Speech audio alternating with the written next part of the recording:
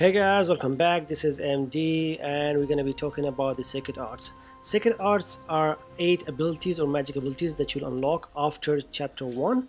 Uh, when you press R2 you'll see this wheel. You can choose the magic that you want uh, with the left hand stick and as soon as you are done with it then press R2 again and you will actually perform it. So now I performed uh, Tailwind on myself and now as you can see I'm just going to do that again. So press it. When it fully loads then press the R2 again. So now I'm applying it to myself. And now my jumps and everything is much much much uh, way smoother. So yeah there are a bunch of more abilities. There I mean there are eight in total like I said. There is the luminous which you can use to heal your party members or the allies.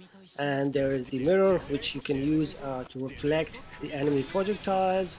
Uh, there is the metal uh, plate which you can use as a, a, just a base to jump from or just a hindrance for the enemies. So yeah there are a bunch. They are very useful in battle. But the thing is these are level 1 there are level 2 and level 3 as well. So if you go to these uh, Sacred Arts in the status menu at the bottom here near your level you can see all eight of them. Uh, what do they do? And the thing is for each level it's different so for level one, um, the tailwind is going to be swifter. Uh, for the metal, uh, we're just going to create a metal uh, uh platform. But the level two metal, we will actually be, uh, it will increase our defense in a level two. So in level two, you, you'll not get a bigger platform or something like that. So each level is, is kind of like different.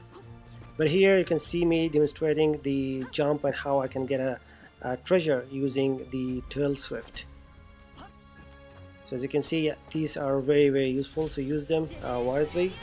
And we will be posting uh, about the level 2 and level 3 uh, where we can get them.